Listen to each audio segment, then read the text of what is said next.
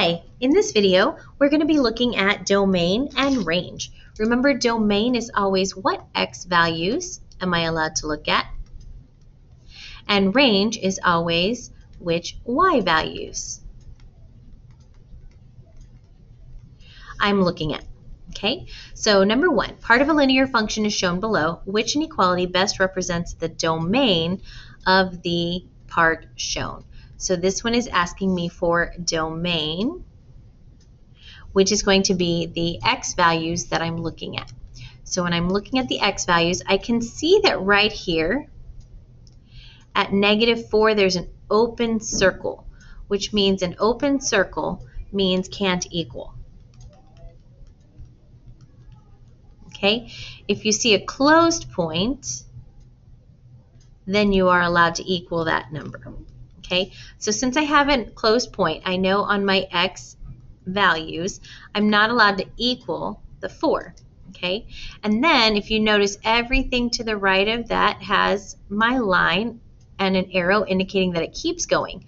So I have a point where x is 3, I have a point where x is, or negative 3, I have a point where x is negative 2, negative 1, 0, 1, 2, and because it keeps going, I have values for all of these x values, which means all of these x's are part of the graph. So every x that is bigger than this 4, bigger than this negative 4. So x has to be bigger than negative 4. Okay, and in math, when we say bigger than, we think of greater than. Okay, so my greater than symbol is going to be here and here. And then we want it to be greater than negative 4, so my correct answer here is C. Okay, let's look at number 2. Number 2, which graph best represents a domain of all real numbers greater than or equal to 2? So that means I want a graph that's only going to have points on the right side of x equals 2. I can equal to, so I should have a solid dot somewhere along this line. Somewhere along where x equals 2, I should have a solid dot. And then if I want to be greater than that 2, then that's going to be on the right-hand side of it. So I'm looking for a graph that starts at 2 and goes to the right. So starts in 2 and goes to the right, that's going to be B. Starts at 2 and goes to the right. It goes negative to the right, but it's still going to the right. And all of these x values have y values that go with it. Everything before it does not have a y value. They're not part of the function here. Okay, so B is my correct answer for domain. Remember, again, domain are your x values. Okay. Number three, a function is gra- a quadratic function is graphed on the grid. Which answer choice best represents the domain and range of the function? So again, domain from left to right. Now because I have this arrow, it means it's going to keep going out, which means all of these x values all the way over to negative infinity are all going to eventually have something over them, right? And then same thing here, as this keeps going out and out and out, there's going to be something above every x value going out towards infinity. So every single number between negative infinity and infinity on the x-axis will have a value that goes with it. Okay, so that's my domain, and my domain is going to be every single number from negative infinity to infinity. So it's going to be all real numbers. I can eliminate C and D. Okay, so now let's talk about range. My range are my y values. So how, how high can I go? How low can I go? Well, again, these are going to keep going up forever and ever and ever. So I can go all the way up to infinity. But the lowest point I see here is right here, a y value of negative 4. Okay, so all of my values have to be bigger than this 4. So y is going to have to be greater than, or since I didn't have an open circle there, equal to negative 4.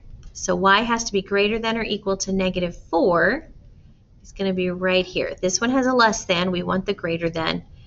B is my correct answer. Okay? So domain, left to right, range, bottom to top. Okay. All right. Here's a function graphed below. Which inequality best describes the domain and range of the function? So again, my domain from left to right, the furthest I can go left is going to be this negative 4. Okay, and then I can go all the way to, if I keep going right, I see it has an arrow. So that means it's going to keep going forever and ever and ever out towards the right. So I can go all the way to infinity on the other side. So that just means that x has to be bigger than this negative 4. So x has to be bigger than negative 4. x can't be less than negative 4, so we can already eliminate this one. x has to be bigger than negative 4. There we go. And I know it couldn't have the equal bar, none of them do on the domains, but it couldn't because of that open circle. Okay. Now for my y values, the lowest point on my graph is going to be right here, these two dots right here, at 1.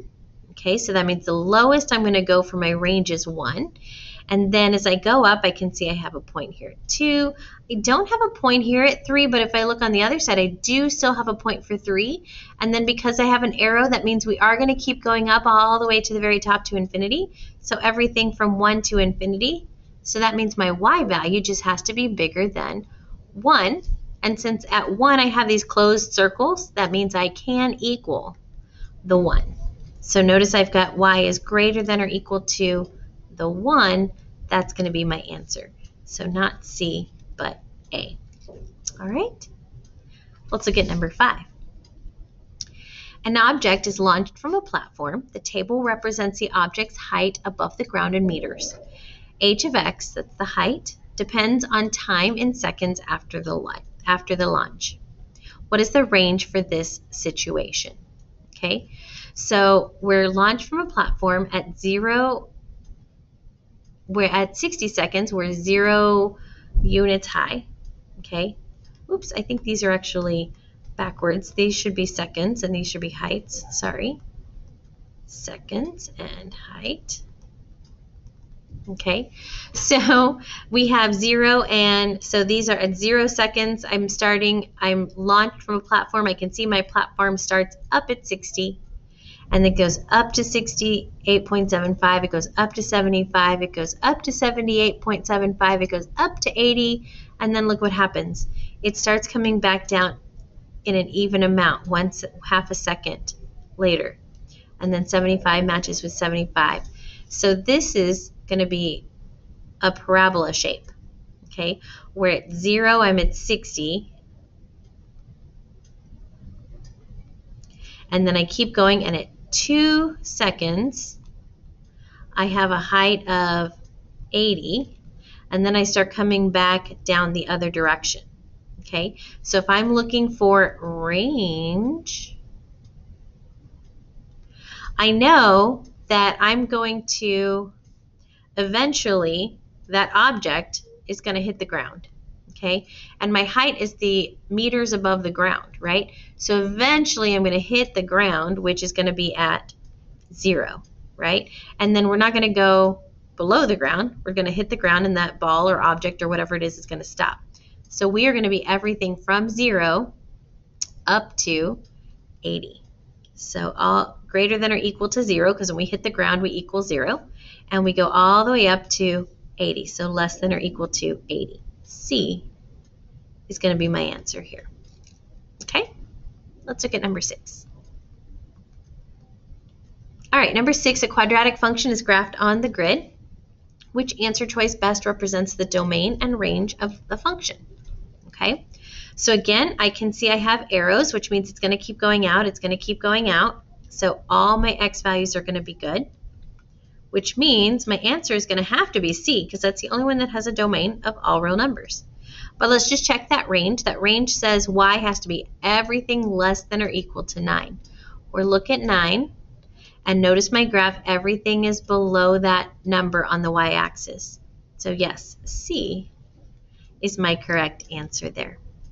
Okay? All right, in the next video, we're going to take a look at more of these type of problems, more quadratic functions. So hopefully that helps with the domain and range. Sorry about the one typo. If you have any questions, make sure you're checking in with your teacher or your tutor. Thank you so much for watching.